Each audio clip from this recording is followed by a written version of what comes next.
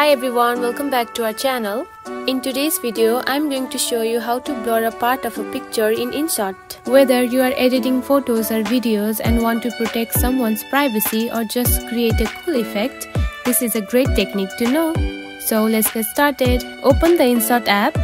Go ahead and select the photo that you want to edit. Now select the photo that you want to blur and it will open up.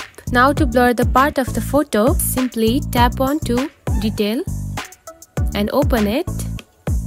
Once you open the detail section, here you can find the blur effect.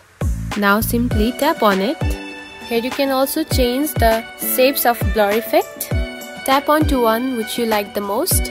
Now adjust the blur effect to the photo like this. Now here you can also adjust the intensity using the slider at the bottom. Just like this.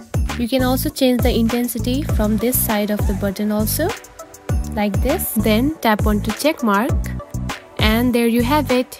You have successfully blurred the part of the photo that you wanted. It's a quick and easy way to protect privacy or add a cool effect to your photos. I hope you found this video helpful.